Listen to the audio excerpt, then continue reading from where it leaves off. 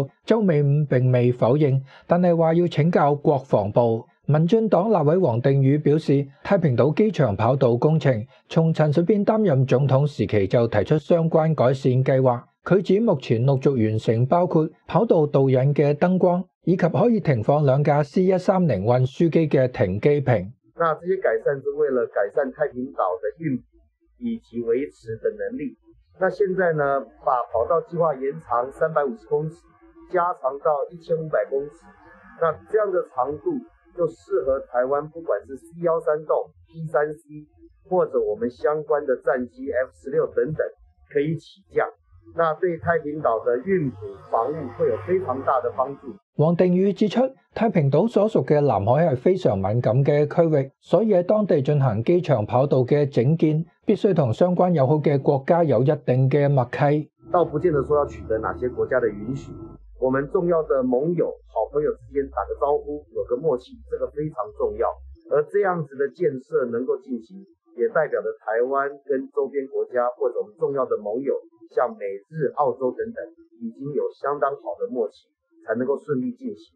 所以，一个太平岛跑机场跑道的加长，其实可以见证到台湾提升自我防御能力、离岛运补能力的决心。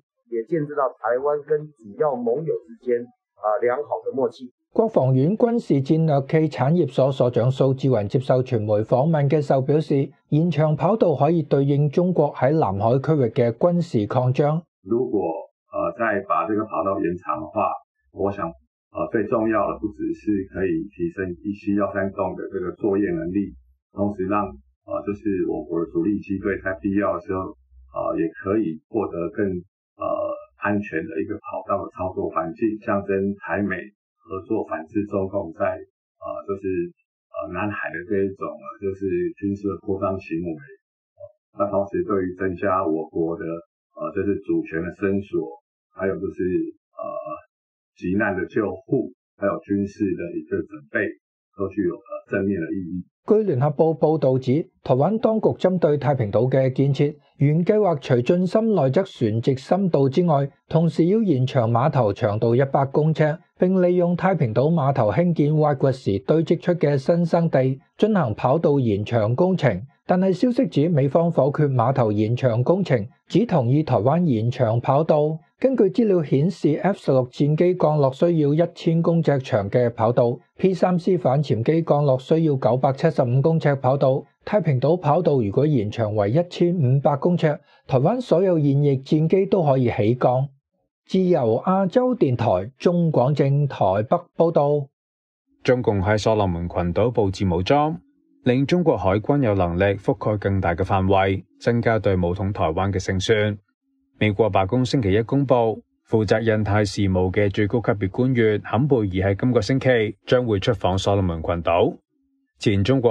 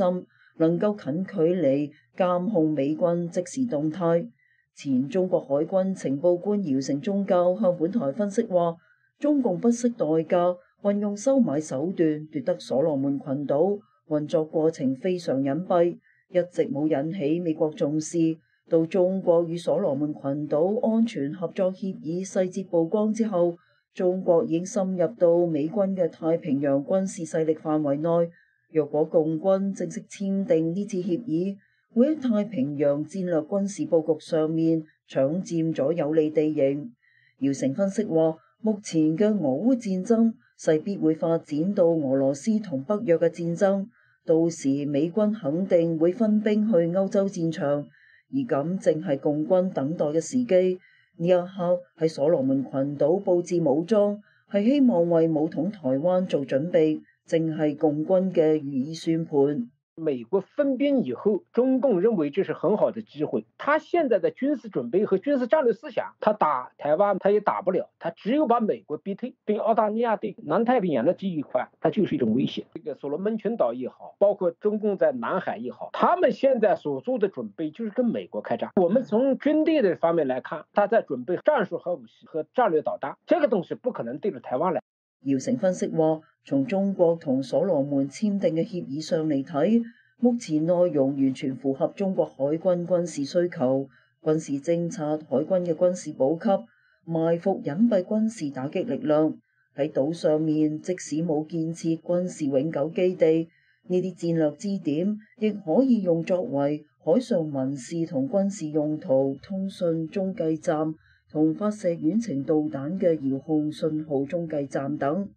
他在所罗门群岛设个雷达站以后，他整个的把他的监视的范围扩大了几千公里，他直接就可以看到澳大利亚和夏威夷动态、飞机起飞、军舰的动态，他都能看到。这个点非常重要，他等于把他的这个视线延长了几千公里。现在作战就是一个信息战，就是要看得见、要听得到，就这个位置非常重要。现代的作战你不能看着眼前的作战，现在是信息化，是超视距攻击。